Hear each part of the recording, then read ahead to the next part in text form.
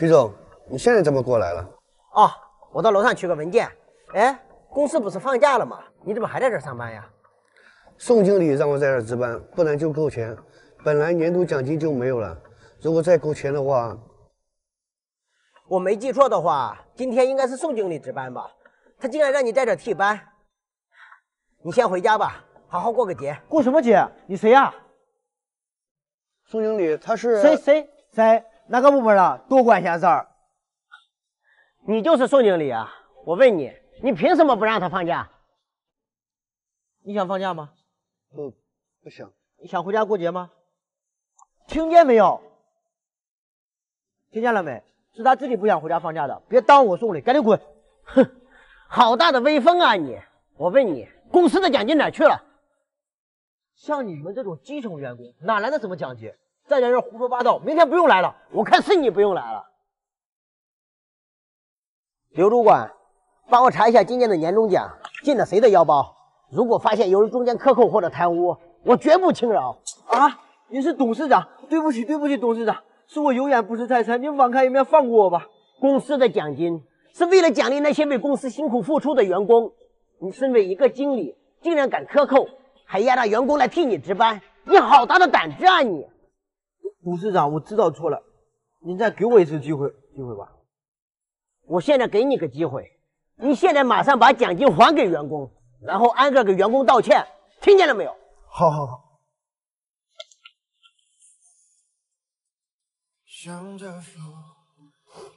来，拿着，赶紧回家吧，回去陪家人好好过个年。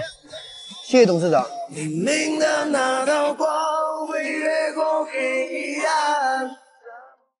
喂，妈，啊，我买上票了，一会儿就到家了，放心吧，不耽误啊。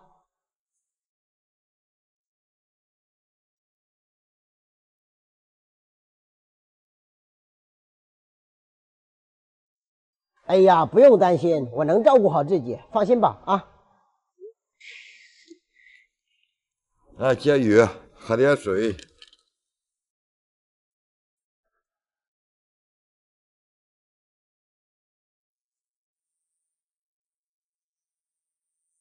你也回家呀，小伙子？啊，回家好啊，你吃肉都香。嗯，小伙子，我这个手机打不开了？你能帮我瞧瞧不呢？我给俺儿在外地干活，他今年回不去了，是不是马上都要上车了，我想给他发个信息报个平安。我的手机又打不开了，你瞧你能帮帮我不？那孩子的爸爸怎么不一块回去呢？哎，这股里边都是这样吗？我老了不中用了，我儿子在外边再想干几年再回去。来，闺女坐，趁热吃，凉了都不好吃了。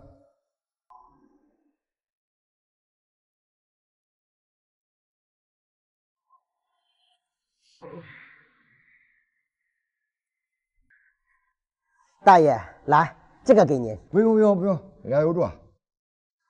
大爷，不能总给小朋友吃泡面的。没有，不常吃，不常吃。他只有每年过生日才吃一次。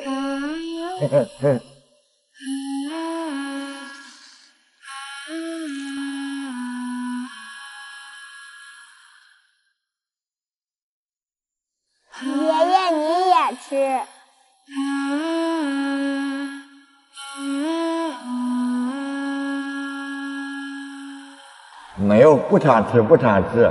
他只有每年过生日才吃一次。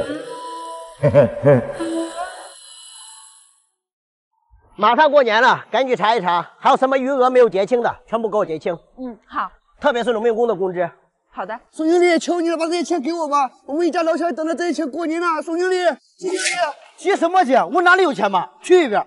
哎，皮总，这怎么回事？哎，皮总，没事没事，你别讲话。大哥，怎么了这是？老板是这样的，我是农民工，我来找宋经理要钱，我来了好几次他都不在，他死活不愿意把钱给我们。行了行了，别说了，到办公室说吧。来，请进。你在这等着。微微，倒杯水，请坐。大哥，这是怎么回事呀？是这样的，老板，我们今年二月份开始和宋总做工程，一直做到今年八月份。谢谢。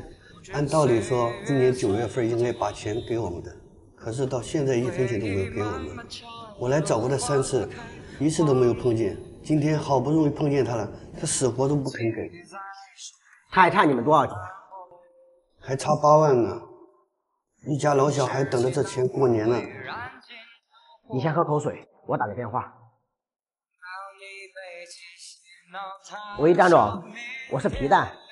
哦，那个，我想问一下，我们这边的工程款结清了没有？结清了呀，几个月之前就结清了。哦，行行行，结过了是吧？好。微微，你把信给你孩子。齐总叫你。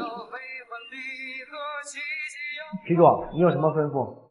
他们这个项目是不是你在负责？是的，老板。那为什么他们的工资还没有结？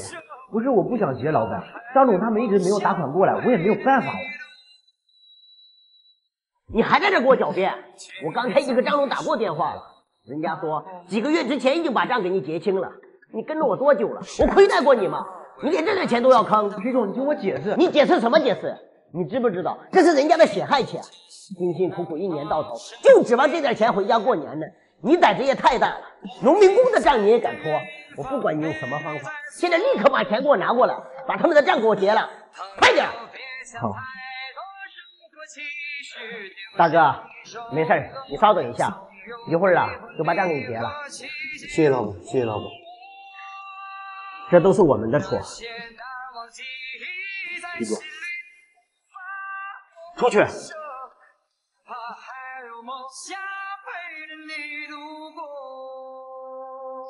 来，大哥，这是十万块钱。不行不行，老板，只欠我们八万，剩下的两万，我代表我们公司全体发放给我们农民工兄弟们。你带着钱回去，给兄弟们分一分，多买点年货，过个好年。兄弟们辛苦，明年我们继续欢迎你们过来。谢谢老板，谢谢老板。回家过年吧，大哥。徐总，看在我跟你这么多年的份上，你再给我一次机会吧。机会？我告诉你，没让法律来制裁你，已经很不错了。出去。啊！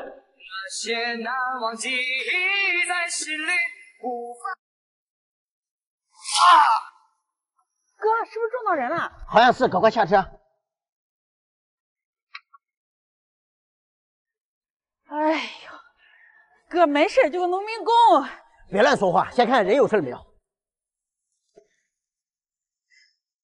大哥，你没事吧？嗯，没事没事。胳膊是不是受伤了？我拉你去医院检查一下吧。哦，我的胳膊呀，没有什么问题，就不用去医院了。那要不我赔你点钱吧？哎呀，哥，他都说没事啊，不用赔。老板不用给钱，我这没事。大哥。你这给钱也不要，让你去医院检查也不去，你这着急忙慌的上哪呀？要不我开车送你吧？哦，是这样的，我今天呀捡到一个钱包，我想呀抓紧时间送到派出所去，我怕失主着急。哎，哥，这不是你上午刚丢的钱包吗？这钱包怎么会是你们的呀？大哥，这钱包呀还真是我的，不信你打开看一下，里面有两万块钱、几张银行卡，还有我的身份证。还真是你的呀！我着急忙慌的找失主，原来失主就在我眼前。来，还给你。谢谢你啊，大哥。既然失主已经找到了，那我就先走了，再见。哎，大哥，等一下，你是做什么工作的？我呀，就是一个农民工，我想去那边工地啊找点活干干。我公司呀，仓库还缺一个管理员，有没有兴趣？不用了，不用，大哥，那个工作呀，我也没做过，也肯定做不好。你的好意啊，我心领了，我就不给你添麻烦了。没事，没做过可以学嘛。做人本来就是一件很难的事情，你已经做得很好了。我相信以你的人品，做这个职位肯定没问题的。跟着我干吧，月薪八千，考虑一下。谢谢大哥，谢谢大哥。哥，就他这样能行吗？朋友们，你们感觉他行吗？评论区告诉我。这一切其实本无味。回来了，是啊，你做了什么好吃的？你怎么吃泡面啊？我不知道你要回来，我今天晚上加班，有点事情要处理，也没有做饭。你想吃什么，我去给你做。我我这两天去我妈那儿住了，你想我没呀？想了。喂喂喂，有事哥？哦，把位，马上到。怎么，刚回来又要出去？这不，我闺蜜叫我吃饭嘛，刚好你不用做饭了。哦，对了，今天晚上我可能回来的晚一点，你不用等我了。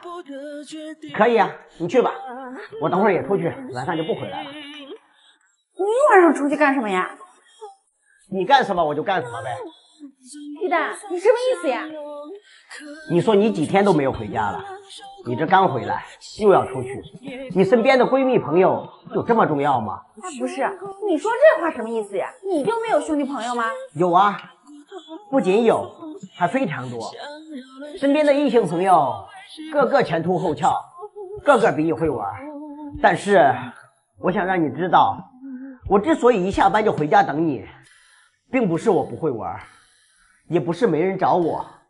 我只是想让你放心，而你呢？你有让我放心过吗？你天天出去玩，我夜夜笙歌，这日子还怎么过？今天你给我个痛快话，你是出去还是在家？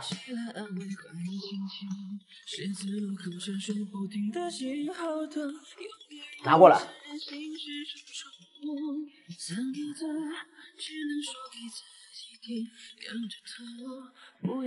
他没有时间，不去了。你有毛病吧？你你等会儿，我马上到。既然要出去，把你的行李也带上，我都给你收拾好了。我说你这是什么意思呀？咱俩在一块的时间不短了吧？我以为我的包容能换来你的开心。结果，我的包容换来的是你肆无忌惮的放纵。我不就跟闺蜜一起吃个饭吗？你至于吗？吃饭，你去呀。啊，对了，这个是你妈昨天送来的。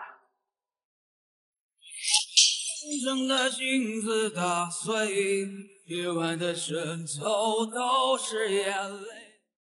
今天我倒要看看谁在这吃八块钱，好大的胆子，没钱也吃什么饭？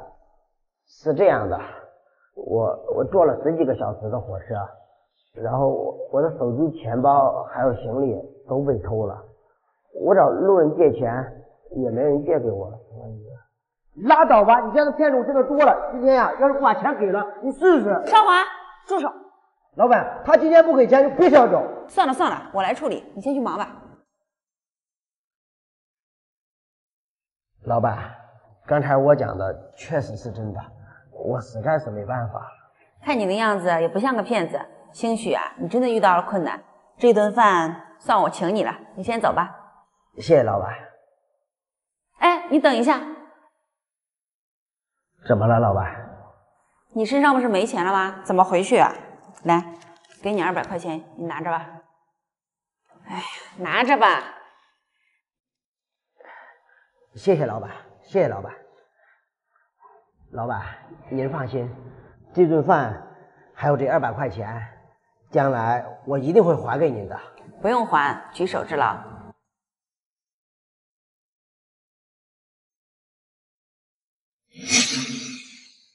少华，这是你们三个人的工资，你拿去分一下吧。老板，这个店真的不干了吗？这可是你几年的心血呀！唉，我有什么办法？这几年你也看到了，这生意啊，确实不好做。现在连房租都交不起了，一会儿房东就过来收房子了，咱就不租了。老板，这个店铺呀，我已经卖了，今年的房租呀，你和新房东谈一下吧。不租了，不租了，我们不租了。房租二百，租不租？二百？是是你啊？三年前的那一天，我的手机和钱包被偷了，所有人都不相信我，唯有你，请我吃了饭，还给我路费让我回家，是你让我感受到了来自这个世界的温暖，谢谢你。哦，对了，这家店铺呢，我已经买下来了，送给你，作为当年你对我帮助的报答。但是我有一个条件，条件？什么条件？房子虽然归你，但你每年需要支付我两百块钱的房租。我要把这份善举传递下去。西风吹向大海，到天空之外，你。老板，还记得我吗？老板，我刚坐了十几个小时的车来到这里找工作，结果手机和钱包都丢了。你能不能给我口饭吃？剩饭也行。那你先坐吧，我去给你弄点吃的。来，快吃吧。谢谢，谢谢。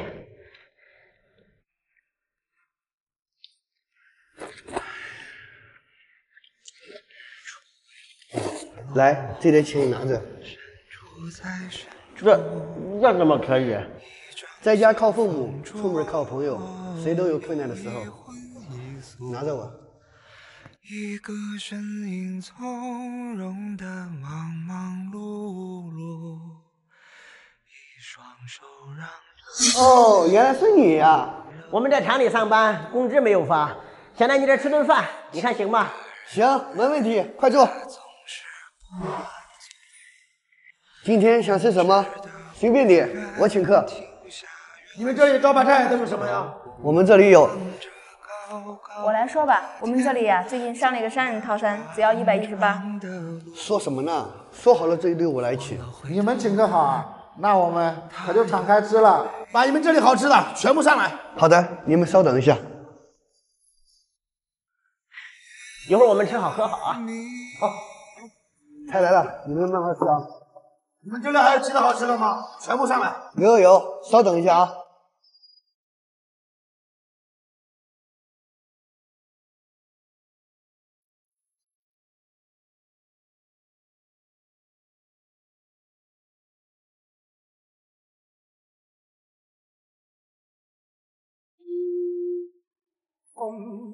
三个人点那么多菜，能吃完吗？真以为不要钱啊？少说两句不行。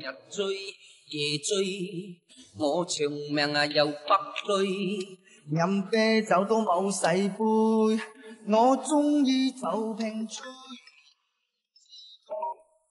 喂。你爸的医药费到底什么时候交？再不交的话，我们就停药了。别别，千万不能停药！你再给我两天时间，我凑齐了，我给你送过去。那你抓紧时间吧。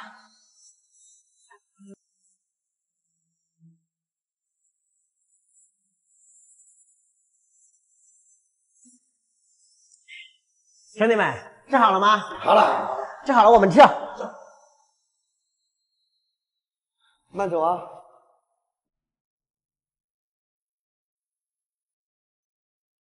就你知道做好人，你看看，一桌吃了我们六百多，咱爸的医药费可咋办啊？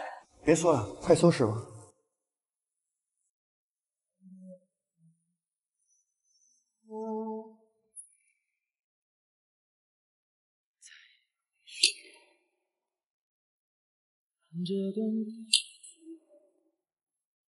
再回首，荆棘密布。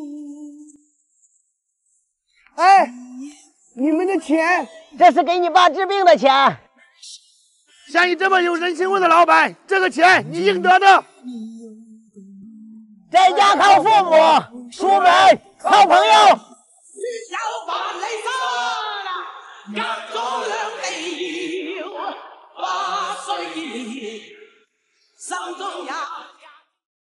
妈，哥，饭都做好了，你们先吃吧，不用等我了。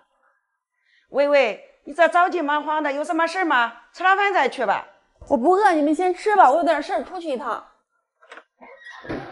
妈，哥，吃饭。妈，走，吃饭。这薇薇有什么事呀？走的这么急，饭做好了都顾不上吃。哎呀，我老丈人的老毛病又犯了，这不又住院了吗？住院了，严不严重啊？你怎么不陪着一块儿去看一下？就是呀，你怎么不陪着一块儿去看一下呀？我才不去呢，妈，你又不是不知道，他们家那两个儿子啊，就知道互相推脱，谁也不知道拿钱。每次看病的时候，都是我这个当女婿的拿钱。再说了，这不马上过年了吗？家里大大小小的事都要花钱。哎呀，不说了，吃饭吧。你等一下，哥，吃饭吧。儿子，妈这有钱，赶紧给你老丈人送去。妈，我怎么能要你的钱呢？再说了，你把钱借给他们，他们能还你吗？傻儿子，治病要紧，什么还不还的？再说了，这也是你这个当女婿的呀，应该做的。每次都是我出钱，凭什么？凭什么？就凭薇薇当初不图车不图房的嫁给你，作为老婆相夫教子，任劳任怨；作为儿媳孝敬公婆，勤俭持家。还是他爸妈含辛茹苦二十多年养大的孩子呀！花钱的时候在娘家，挣钱的时候在咱们家，被人伺候的时候在娘家，伺候人的时候在咱们家。儿子将心比心呀！薇薇为咱家付出了那么多，你有什么理由不去孝敬他的父母呢？老二，咱妈说的对，百善孝为先。薇薇离开生她养她二十多年的父母，嫁到咱们家。把咱们家打理的井井有条，把咱妈当成亲妈一样孝顺。现在他们家遇到困难了，你应该去帮助他们家渡过难关，而不是推脱责任。微微的父母，也就是你的父母，父母养我们小，我们就应该养他们老。有爸妈在呀，那才是一个家。妈，哥，我明白了，我现在就去医院看我老丈人。哎，等一下。我这张卡里呀有十万块钱，多带点钱，吃不了亏。哥，谢谢你。告诉你老丈人，好好养病，钱不够了呀，妈这有。等过几天，妈去看你。知道了，妈，你们先吃饭吧，我走了。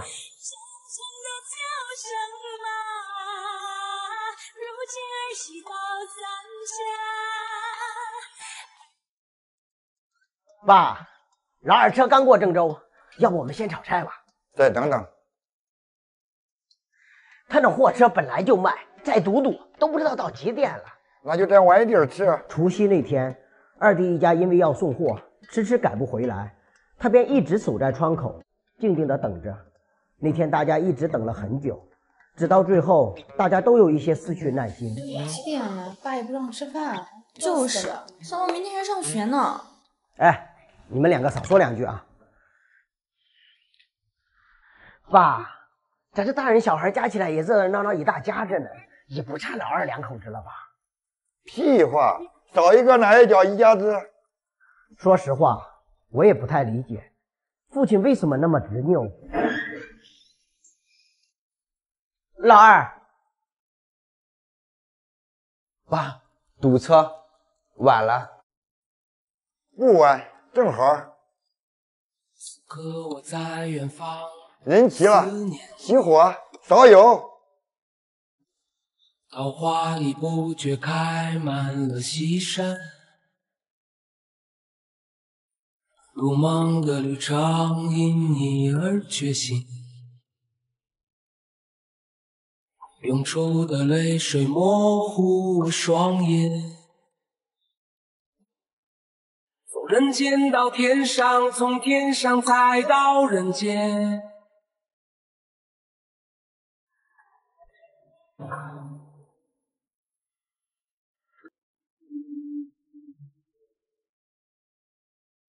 你找谁呀？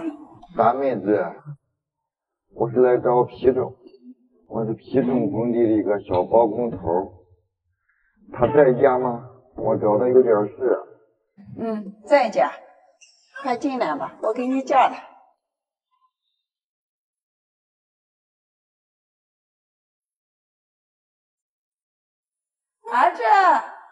怎么了妈？哎，刘叔，你怎么过来了？皮总，刘叔，快坐。皮总，哎，你等一下，妈，再去烧壶水吧。好，你们先聊着。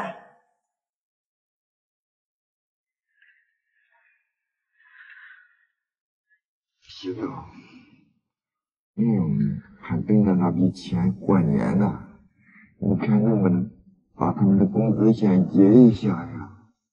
刘叔，咱们在一起有两年了吧？这笔工程款呀，总公司那边一直没有下来，我也是实在是没有办法呀。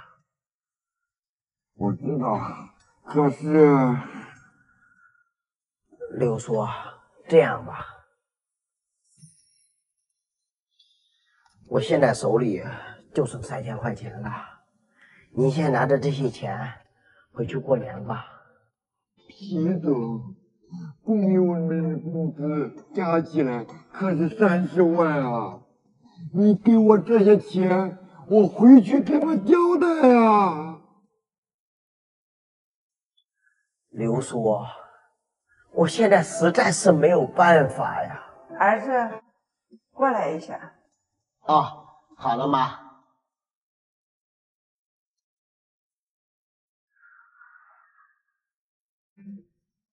怎么了，妈？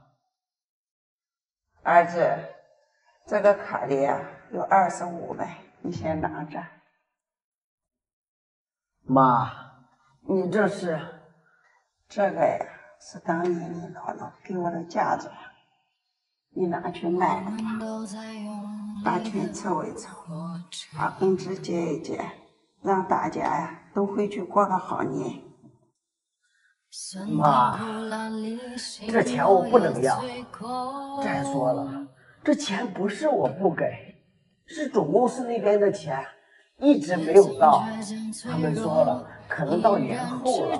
那你这个年不让别人过了呀？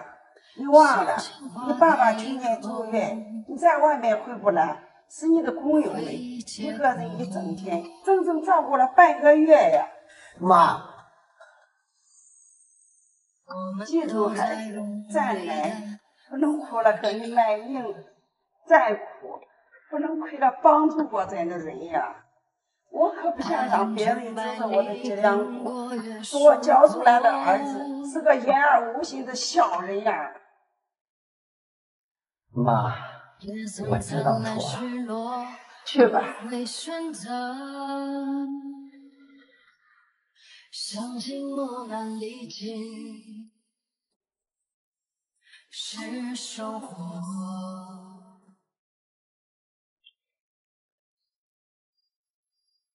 哎，小伙子，你的钱掉了。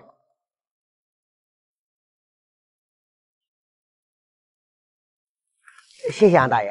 不用谢，以后注意点啊。哎，大爷，你怎么在停车场卖菜呀？啊，市场上呀没有摊位，我就在这里摆一摆。大爷，那你可注意安全呀！来，这一百块钱您拿着。小伙子，不用不用。大爷，您听我说，如果不是您捡到的话，这两百块钱呀就都没有了。来，拿着。小伙子，不用不用。爸，给你就拿着吧，我看这位哥呀也不差钱，谢谢哥。大爷，这是您女儿吧？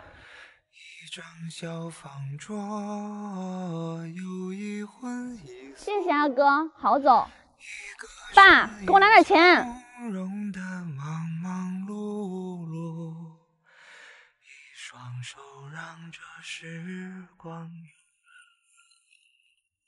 就这么点钱啊？这晚上蹦迪都不够，再给我拿点儿。你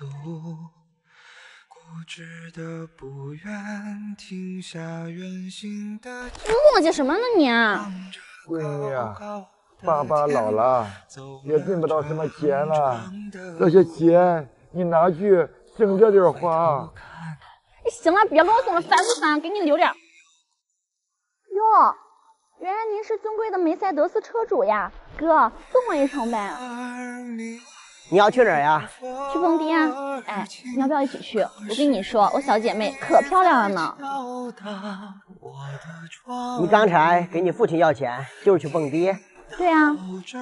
你有工作吗？没有呀。那晚上蹦完迪，准备去吃什么呢？吃火锅，去不去？吃火锅。来。哎，你干嘛？干嘛呀？你看看你父亲，我的梦里一定是你来时太看到了吗？你每天想着出去开心快乐的时候，你有想过你父亲在干什么吗？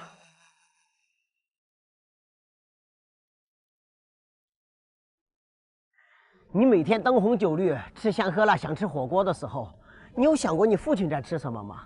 他在吃馒头，你看到了吗？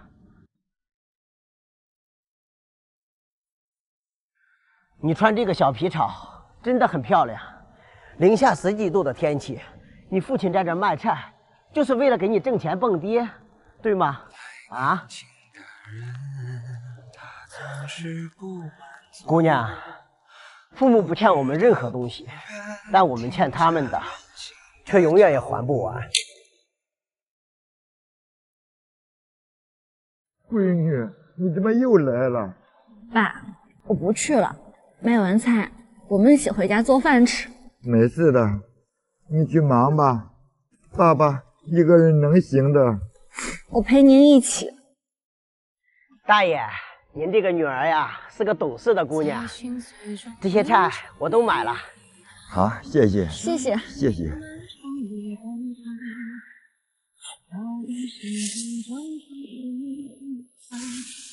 因危险而战。跌入灰暗，坠入深渊，沾满泥土的脸。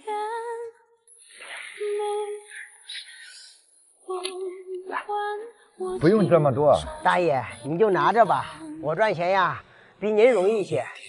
啊，大爷，从明天开始呀，您就别在这卖菜了。那边有个饭店，是我朋友开的。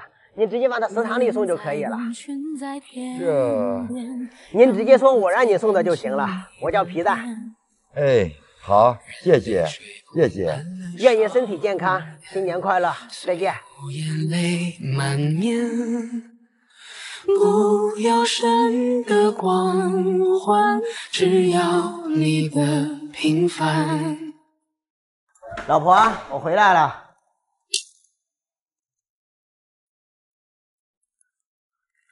你怎么吃这个？妈妈没给你做饭吗？没有。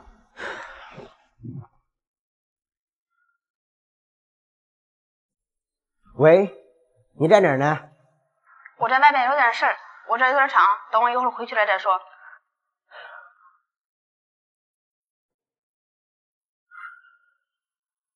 孤单的人心已碎。未曾放下的人，怕回忆，早已习惯于孤独缠绵，让深夜的快坐下吃饭吧。哦，我在外面吃过了。解酒的。你最近总是早出晚归，是不是在外面遇到欣赏你的人了？你别多想，嗯，这个是我跟琪琪逛街的时候他送我的，不像你，问你多少次了都不给我买一个。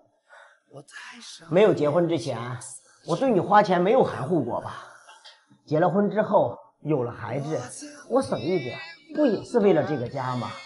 我对我自己怎么样，你心里有数吧？你对自己怎么样，我不管，因为你是个男人，你就要对这个家负起责任。对，我在外面拼死累活，早已无所谓，像不像个男人？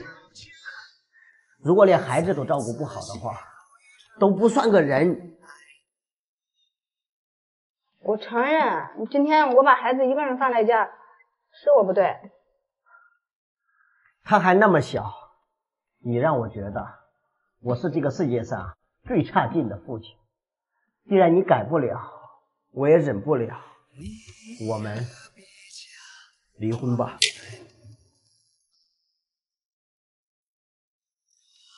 就因为这点小事，你就要把这个家拆散吗？以前我舍不得孩子，即使你对我没有感情了，这还是个家。现在你对孩子都可以不闻不问。那这个家的意义在哪儿呢？期待。你不要觉得我非你不可，外面优秀的男人多了去了。你记住，任何一文不值的人，在外面都有欣赏自己的人。不要因为短暂的快乐而搭上自己的一生。你就这么狠心，不要这个家了吗？你不要我跟孩子的，我需要的是，即便我回来的再晚，都能给我留一盏灯的人。爱是尊重，也是成全，这是我最后的体面。因为我也相信你说的“万水千山，细水长流”。如今不能再爱你，让暖阳护你周全。若再次的邂逅于人海，也还爱你。